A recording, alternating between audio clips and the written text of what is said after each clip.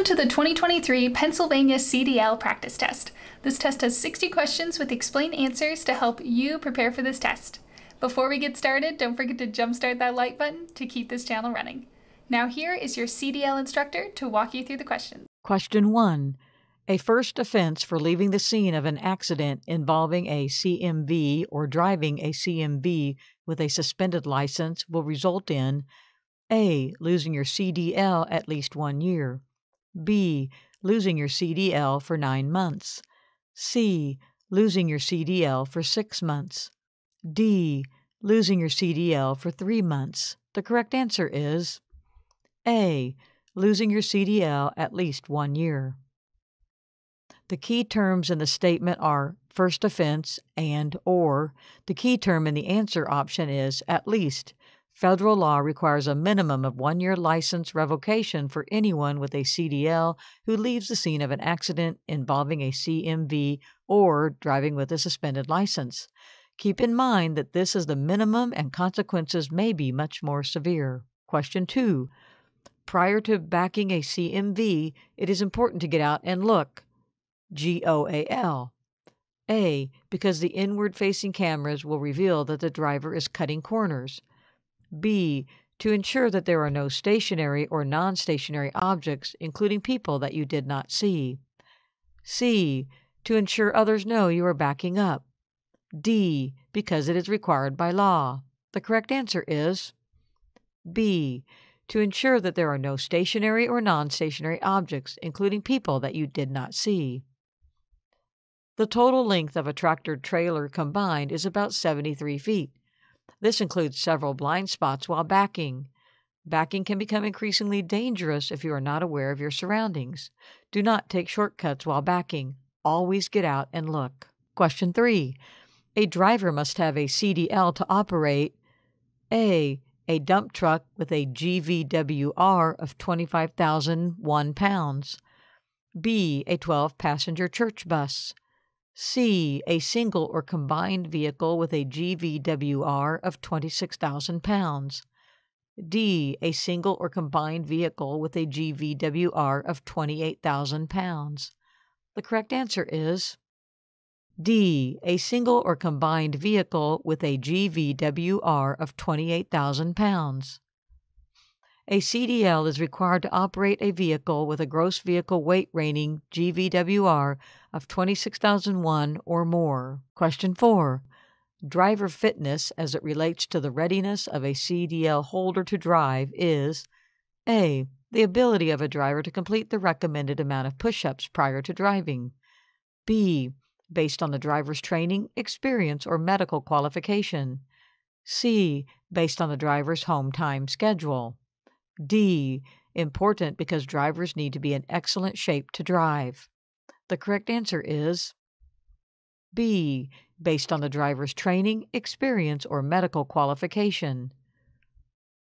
Driver fitness is one of seven federal compliance, safety, and accountability CSA behavior analysis and safety improvement category BASIC in which a driver's qualification to drive a CMV has been met. Question 5.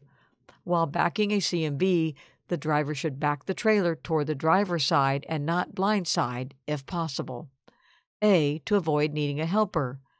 B. So that the driver can use the side mirror to see where the end of the trailer is headed. C. Because it's faster. D. All of the above. The correct answer is B. So that the driver can use the side mirror to see where the end of the trailer is headed. Backing a trailer toward the passenger side, blindsiding, is dangerous because the driver will lose sight of the rear of the trailer. It is safer to back toward the driver's side so the driver's side mirror can be used to help minimize backing accidents. Question 6. While driving a CMV, it is important to look as far ahead as possible, as well as paying close attention to the immediate surroundings because A. Changing lanes and stopping can take lots of distance. B. It is important to know what traffic is doing on all sides of your vehicle. C. You need to look far ahead to ensure you have room to make maneuvers safely. D. All of the above. The correct answer is D. All of the above. All of the above ensure that you can make safe and timely decisions while driving. Two very crucial factors for safely driving a CMV are the time and space necessary to maintain safe control of the vehicle. Question 7. When backing a CMV with a helper, what is the most important hand signal you both should agree on? A. Forward. B. Backwards. C. Turning. D. Stop. The correct answer is D. Stop. When using a helper to back a CMV, it is important first and foremost to agree on what hand signal will be used to advise the driver to stop. Remember, while backing, if unsure, stop. Get out and look. G O A L, for yourself. Question 8. What are two ways of knowing when to shift a manual transmission vehicle? A. Use readings on oil and pressure gauges. B. Use readings on primary and secondary air tank gauges. C. Use engine speed RPM and road speed MPH. D. Use intuition and engine brakes. The correct answer is C. Use engine speed, RPM, and road speed, MPH. Study the vehicle's manual to learn the operating RPM range. Watch the tachometer and shift accordingly. Learn what speeds, MPH, each gear apply to and shift accordingly. Question 9. When approaching an oncoming vehicle or a vehicle ahead at night with your high beams on, turn off high beams within blank feet of the vehicle. A. 200. B 150, C 500, D 700. The correct answer is C 500. Driving at night with high beams usually allows you to see ahead about 350 to 500 feet. Avoid blinding other drivers with glare by dimming lights when within 500 feet behind or oncoming. Question 10. In the event of an emergency and needing to pull onto the shoulder of a roadway, which steps should be taken to ensure safety for you and others? A. Signal to let drivers know you are leaving the roadway. B. Put on four way flashers to indicate to others that there is an emergency. C. Pull completely onto the shoulder, call emergency services if needed, and put out safety equipment by exiting the CMV from the side of the vehicle that is away from traffic. D. All of the above. The correct answer is D. All of the above. It is important to never leave the roadway in a CMV unless it is absolutely necessary. Parking on shoulders is very dangerous and can be a contributing factor to very serious accidents. All of the above are appropriate steps for pulling onto a shoulder if needed. Question 11. In which circumstance should you make use of your vehicle's horn? A. The driver ahead of you didn't move fast enough when the red light turned green. B. A pedestrian is taking too long to cross the intersection and the light is about to change. C. When using the horn may help avoid an accident by calling attention. D. When another driver cuts in front of you. The correct answer is C. When using the horn may help avoid an accident by calling attention. Avoid using your vehicle's horn when possible, as it may startle or distract others and cause an accident. Instead, only use the horn when it is absolutely important to call attention in an attempt to prevent an accident. Question 12. Which of the following should you do when confronted by an aggressive driver? A. Ignore rude gestures and refuse to react negatively. B. Avoid eye contact.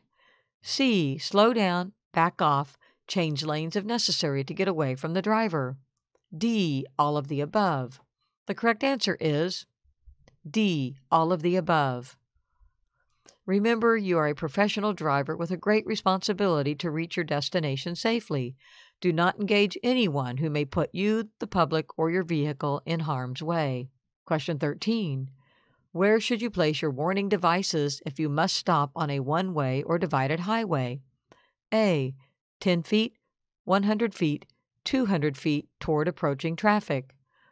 B. 25 feet, 50 feet, 75 feet away from approaching traffic. C. 10 feet, 100 feet, 200 feet away from approaching traffic. D. It doesn't matter where you place emergency triangles. The correct answer is A. 10 feet, 100 feet, 200 feet toward approaching traffic. When placing emergency triangles on a one way or divided highway, devices must be placed at 10 feet, 100 feet, and 200 feet toward approaching traffic to allow others ample time to move away from your vehicle. Question 14. What action should you take if your vehicle begins to hydroplane? A. Apply pressure to the accelerator. B. Apply pressure to the brakes. C. Release the accelerator. D. Leave the roadway. The correct answer is C. Release the accelerator. If your CMV begins to hydroplane, glide on water, release the accelerator and do not apply brakes suddenly. Applying brakes suddenly may cause the CMV to skid. Question 15. What is off tracking or cheating? A. When a trailer begins to skid. B. Backing up without getting out and looking at your surroundings. C. While turning, the rear wheels of the tractor and trailer follow a different path from the front wheels. D. While turning, the tires deflate to help bring the trailer around the curve. The correct answer is C. While turning, the rear wheels of the tractor and trailer follow a different path from the front wheels. Off tracking or cheating causes the path followed by a tractor to be wider than the rig itself. This leads to the rear wheels of the tractor and trailer to follow a different path from the front wheels. It is especially important to be mindful of this when taking tight turns to avoid hitting parked cars and stop signs. Question 16. When are roads most slippery? A. Two hours of light rain. B. Just after rain begins. C. Three hours of light rain. D. One hour of light rain. The correct answer is B. Just after rain begins. Right after it starts to rain, the water mixes with oil left on the roadway by other vehicles, which makes the road extremely slippery. As it continues to rain, the oil will be washed away. Question 17. What is black ice? A. A thin coating of glaze ice on a surface that makes the road look wet. B. Ice piled up from snowplows. C. A large chunk of ice that falls off of the roof of a moving CMV. D. None of the above. The correct answer is A. A thin coating of glaze ice on a surface that makes the road look wet.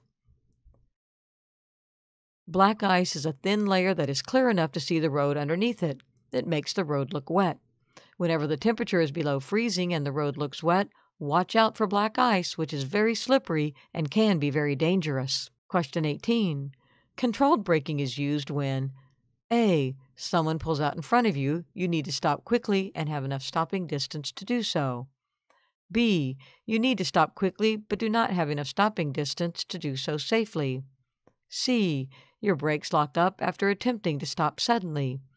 D. None of the above. The correct answer is A. Someone pulls out in front of you, you need to stop quickly and have enough stopping distance to do so. The controlled braking method is used when you need to stop quickly and have enough space and time to do so. Apply the brakes as hard as possible without locking them up. Steer gently to avoid losing control of the vehicle. Repeat as needed. Question 19. When is the stab braking method used? A. Someone pulls out in front of you, you need to stop quickly and have enough stopping distance to do so. B. You need to stop quickly without much time of space. You apply the brakes all the way until they lock up, then release. C. A steer tire blows and the driver needs to stop quickly. D. None of the above. The correct answer is B. You need to stop quickly without much time of space. You apply the brakes all the way until they lock up, then release. With this method, apply your brakes all the way and release when they lock up. When the wheels start rolling, fully apply the brakes again. Question 20. What should be the first response to tire failure? A. Release the steering wheel, control brake. B. Hold the steering wheel firmly, stay off the brake. C. Stab the brakes. D. Pump the brake. The correct answer is B. Hold the steering wheel firmly, stay off the brake. If a tire fails, hold the steering wheel firmly. If a front tire fails, it can twist the steering wheel out of your hand. This can be prevented by keeping a firm grip on the steering wheel. Stay off the brakes unless you're about to run into something.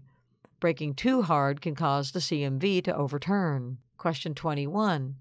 How much tread depth is required in every major groove on the front tires of a CMV? A. 2 and 32 inch. B. 7 and 32 inch. C. 4 32 inch. D. 1 32 inch. The correct answer is C. 4 32 inch. The answer to this question is based on general knowledge, memory.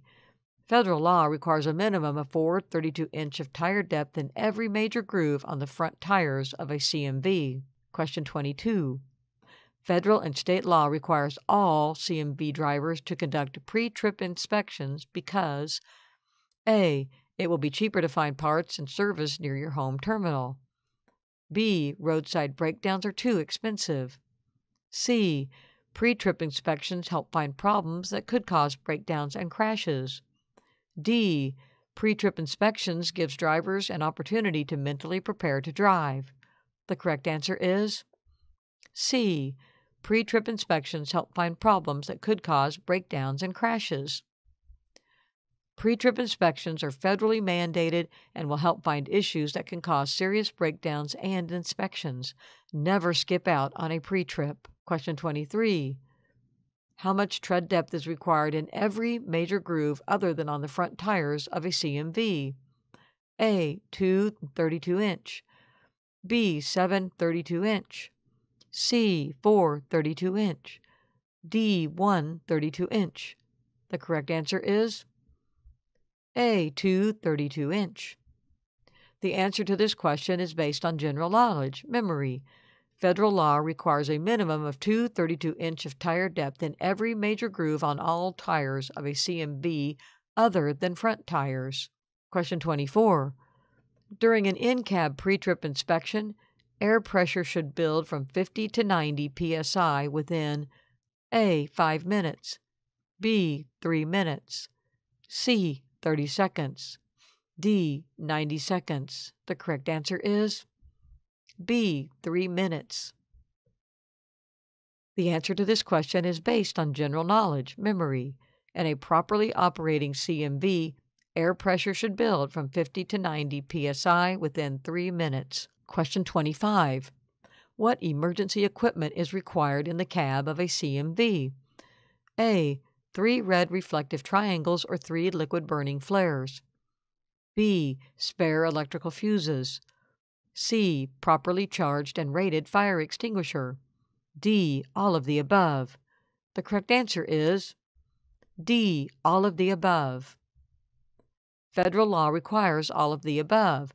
If they are missing during a roadside inspection or emergency, the driver can be ticketed. Question 26. What range should the oil pressure be in while idling a CMV? A. 60 to 50 psi. B. 5 to 20 psi. C. 20 to 90 psi. D. 0 to 5 psi. The correct answer is B. 5 to 20 psi. The oil pressure will vary depending on the state of the vehicle. While idling, the oil pressure range is expected to be between 5 to 20 psi. When the vehicle is in operation, the oil pressure should range between 35 to 75 psi. Question 27. What are some things to check for on the front of your vehicle during a pre trip inspection? A. Condition of windshield. B. Lights and reflectors. C. Parking, clearance, and indicator lights. D. All of the above. The correct answer is D. All of the above. During a pre trip inspection, it is important to check all components of the truck that can be seen from the outside. These include, but are not limited to, the condition of the windshield, lights, reflectors, lights, axles, frame, hood, etc. Question 28. What are some key steering parts? A. Steering wheel, tie rods, and steering shaft. B. Steering arm, spindle, and pitman arm. C. Power steering cylinder, gearbox, and hydraulic fluid reservoir. D. All of the above? The correct answer is D. All of the above.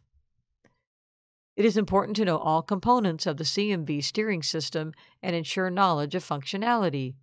You will be likely to know when something looks out of place or damaged. Question 29. What are some signs of exhaust system defects? A. Loose, broken, or missing exhaust pipes, mufflers, tailpipes, or vertical stacks.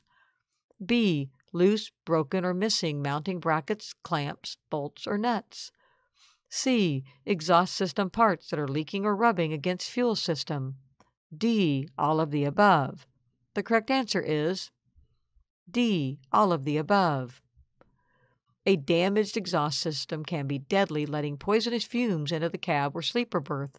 All of the above are important things to look for during vehicle inspections. Question 30. During a vehicle inspection, what are some important engine compartments to check? A engine oil level, windshield washer level, and water pump. B. Coolant level in radiator, condition of all hoses, and air compressor. C. Battery level, belts, transmission fluid level, and alternator.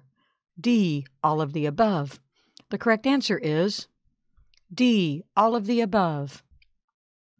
The engine compartment is one of the most important areas to check during an inspection. All of the above are items that need to be monitored daily to ensure safety on the road. Question 31. On a properly functioning vehicle with dual air brake system and normal sized air tanks, air pressure should build from 85 to 100 psi within how many seconds? A. 15 seconds. B. 45 seconds. C. 90 seconds. D. 60 seconds. The correct answer is B. 45 seconds. On a properly functioning vehicle with a dual air brake system and normal sized air tanks, air pressure should build from 85 to 100 psi within 45 seconds. Check manufacturer specifications for larger tanks. Section 5 Air Brakes. Question 32. What is the function of the air compressor in the air brake system of a CMV? A. Pumps air into the air storage tanks, reservoirs. B. Compresses diesel fuel in the air storage tanks, reservoirs. C. Pumps air into the air conditioner system to keep the cab cool. D. Compresses air pressure in the sleeper or bunk area. The correct answer is A. Pumps air into the air storage tanks, reservoirs. The air compressor pumps air into the air storage tanks, reservoirs.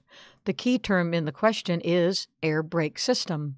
The air compressor in this question has nothing to do with diesel fluid or the air conditioning system. Question 33. When the pressure in the air tank rises to the cut out level, the air compressor governor will stop the compressor from pumping air. This happens around A. 170 psi, B. 60 psi, C. 125 psi. D. Depends on vehicle speed. The correct answer is C. 125 psi. The answer to this question is based on general knowledge, memory. The air compressor governor stops the compressor from pumping air at around 125 psi. Question 34. A low pressure warning signal is blank on vehicles with air brakes. A. Optional. B. Recommended. C. Required. D. Banned. The correct answer is C. Required. All CMVs with air brakes are required to have a low pressure warning signal and must include a warning signal you can see. Question 35. Water and oil sometimes collect in the bottom of air tanks. Why must they be drained? A. Water can replace the air and cause brakes to drag. B. Oil is flammable and can result in brake fire. C. Water can freeze in cold weather and cause the brakes to fail. D. Water and oil don't mix. The correct answer is C. Water can freeze in cold weather and cause the brakes to fail. During cold weather, water in the air tanks can freeze and cause brakes to fail. CMVs with air brakes come equipped with automatic, manual, or dual function air tank drain valves. Be sure to know what equipment you will be handling. Question 36. What is the method for testing hydraulic brakes for leaks? A. Pump the brake pedal three times and apply firm pressure for 5 seconds. B. Pump the brake pedal five times and apply firm pressure for 15 seconds. C. Pump the brake pedal nine times and apply firm pressure for 20 seconds. D. Pump the brake pedal six times and apply firm pressure for 10 seconds. The correct answer is A. Pump the brake pedal three times and apply firm pressure for 5 seconds. If the CMV has hydraulic brakes and you need to check for leaks, pump the brake pedal three times and apply firm pressure for 5 seconds. The pedal should not move. If it does, there may be a leak or other problem. Question 37. What three braking systems make up a CMV's air brake system? A. Service, trailer, and parking brake systems. B. Service, parking, and emergency brake systems. C. Back, front, and parking brake systems. D. Trailer, front, and back brake systems. The correct answer is B. Service, parking, and emergency brake systems. The parking brake system applies and releases the parking brakes when you use the parking brake control. The service brake system applies and releases the brakes when you use the brake pedal during normal driving. The emergency brake system uses parts of the service and parking brake systems to stop the CMV in case of a brake system failure. Question 38. How much following distance does a 60 foot truck traveling under 40 miles per hour need? A. 10 seconds. B. 6 seconds. C. 4 seconds. D. 9 seconds. The correct answer is B. 6 seconds. For timed intervals following distance, use the following heavy vehicle formula. One second required for each 10 feet of vehicle length at speeds under 40 miles per hour. Above 40 miles per hour, use the same formula, then add one second for the additional speed. Question 39. What are spring brakes? A. Brakes used for emergency and parking brake systems. B. Powerful springs held back by air pressure. When air is released, the springs allow for braking. C. Brakes that will come on fully when air pressure drops below 20 to 45 psi. D. All of the above. The correct answer is D. All of the above. All trucks, truck tractors, and buses must be equipped with emergency brakes and parking brakes. Spring brakes are usually used to meet this requirement. Question 40. How do you know if your vehicle is equipped with anti lock brakes? A. A yellow colored lamp with the letters ABS will be located on the vehicle's instrument panel when the vehicle is turned on. B. There's no need to know. C. The CMV will brake faster than usual. D. None of the above. The correct answer is a. A yellow colored lamp with the letters ABS will be located on the vehicle's instrument panel when the vehicle is turned on. Your CMV will have a ABS malfunction warning light that will illuminate when the vehicle is first turned to the on position. All trailers manufactured on or before March 1, 1998 are required to have ABS brakes. If the trailer was manufactured prior to that date, check under the vehicle for the ECU and wheel speed sensor wires coming from the back of the brakes. Question 41. After starting a trip, inspect the cargo and its securing devices within the first blank miles. A. 79, B. 50, C. 65, D. 85. The correct answer is B. 50. Incorrectly loaded cargo can pose a threat to others and yourself. Inspect the cargo after starting a trip within the first 50 miles. Question 42. It's important to recheck your cargo after driving A. 400 miles or 7 hours, B. 150 miles or 3 hours, C. 250 miles or 5 hours, D. 175 miles or 2.5 hours. The correct answer is B. 150 miles or 3 hours. It is extremely important to ensure that your cargo is secured and safe on the road. Recheck the cargo securement after driving 150 miles or 3 hours. Question 43. How many classes of hazardous materials are there? A. 7, B. 10, C. 9, D. 6. The correct answer is C. 9. Hazardous materials are products that pose a risk to health, safety, and property during transportation. There are nine classes of hazardous materials. Question 44. A tank endorsement is required for any CMV designed to transport any liquid or gaseous materials in a tank having more than blank gallons and an aggregate capacity of blank gallons or more. A 500, 1100.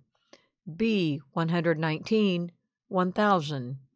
C 120, 1500. D 115, 1200. The correct answer is B 119, 1000. The answer to this question is based on general knowledge, memory. A tank endorsement is required for any CMV designed to transport any liquid or gaseous materials in a tank having more than 119 gallons and an aggregate capacity of 1,000 gallons or more. The liquid or gas does not have to be a hazardous material. Question 45. Placards are a minimum of four signs placed on the outside of a CMV that identify the hazard class of the cargo. They must be placed on the blank, blank, blank, and blank of the vehicle. A. Top, bottom, left side, rear. B. Front, rear, left side, right side. C. Corners, front, bottom, rear. D. Right side, top, corners, rear. The correct answer is B. Front, rear, left side, right side. A placarded vehicle must have at least four identical placards. They are put on the front, rear, and both sides. Question 46. Often, maximum axle weights are set by a bridge formula. A bridge formula permits less maximum axle weight for axles that are A. farther apart, B. the same, C. closer together, D. none of the above. The correct answer is C. closer together. A bridge formula permits less maximum weights for axles that are close together to prevent overloading bridges and roadways. Question 47. A vehicle with a high center of gravity is most dangerous in A. Heavy traffic, B. Curves, C. Shoulders, D. Rain. The correct answer is B. Curves. Top heavy CMVs with a high center of gravity are at high risk for rolling over. This risk is increased and most dangerous in curves. Question 48. What is the minimum aggregate working load limit of any securement system used to secure cargo from movement? A. One half times the weight of the cargo. B. Two times the weight of the cargo. C. Three times the weight of the cargo. D. Four times the weight of the cargo. The correct answer is A one half times the weight of the cargo. Federal regulations require that the aggregate working load limit of all securement must be no less than one half times the weight of the cargo. This includes ropes, chains, straps, tensioning devices, etc. Question 49. What is the minimum number of tie downs for a 20 foot load? A. 4. B. 7. C. 2. D. 8. The correct answer is C. 2. Cargo should have at least one tie down for each 10 feet of cargo. No matter how small the cargo is, it should have at least two tie downs. Question 50. Blank is used in the front, back, and or sides of a piece of cargo to keep it from sliding. A. Bracing. B. Blocking. C. Tie downs. D. None of the above. The correct answer is B. Blocking. Blocking is shaped to fit snugly against cargo in the front, back, and or sides. It is secured to the cargo deck to prevent movement. Question 51. Blank is used to prevent cargo movement when it is placed from the upper part of the cargo to the floor and or walls of the cargo compartment. A. Blocking. B. Bracing. C. Tie downs. D. None of the above. The correct answer is B. Bracing. Bracing is usually used with the blocking method. Blocking is for the front, back, and sides. Bracing is top and bottom. Usually wooden or steel bars are used for this purpose. Question 52. What might happen if the trailer is too high for the tractor's fifth wheel when you try to couple? A. They may not couple correctly and the fifth wheel may get trapped behind the kingpin. B. They may couple correctly but cause steering issues. C. They may not couple correctly and cause brake failure. D. They may couple correctly but cause the cargo to shift. The correct answer is A. They may not couple correctly and the fifth wheel may get trapped behind the kingpin. When coupling, the purpose is to connect the fifth wheel of the tractor to the kingpin of the trailer. If the trailer is too high when attempting to couple, the tractor's fifth wheel may go behind the kingpin and get trapped. The suspension of the tractor will then need to be lowered or the trailer must be lifted to get the fifth wheel from behind the kingpin. This can be expensive and time consuming. Always get out and look, goal, prior to coupling. Question 53. A trailer jackknife is more common with A. A lightly loaded or empty trailer.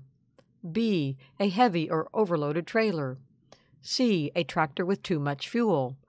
D. None of the above. The correct answer is a. A lightly loaded or empty trailer. When the wheels of a trailer lock up, the trailer may swing around. This is more likely to happen with a lightly loaded or empty trailer. Question 54. How can wet brakes affect your ability to stop? A. Water in the brakes can cause them to become weak. B. Wet brakes can cause wheel lockup. C. Wet brakes can cause a jackknife. D. All of the above. The correct answer is D. All of the above. When driving in heavy rain or deep standing water, brakes can become wet and cause all of the above. Avoid driving through deep puddles or flowing water if possible. If not, gently put on the brakes. Drive slowly and put transmission in low gear. Question 55.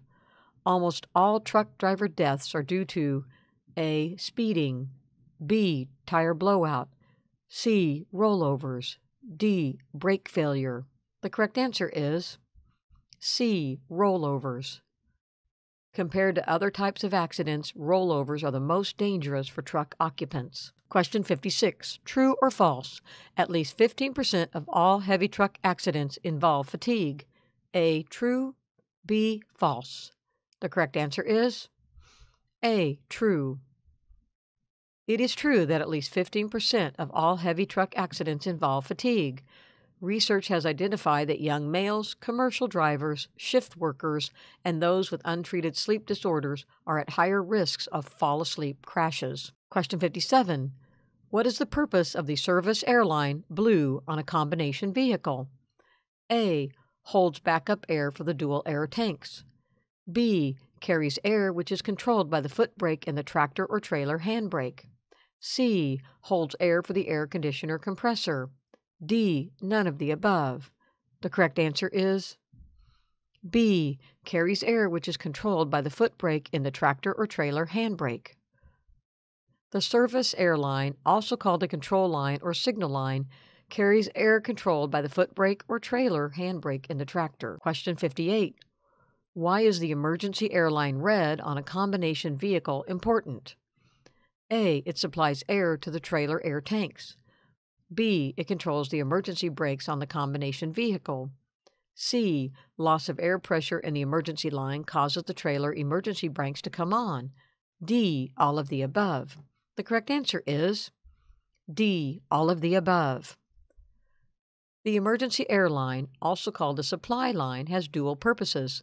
First, it supplies air to the trailer air tanks.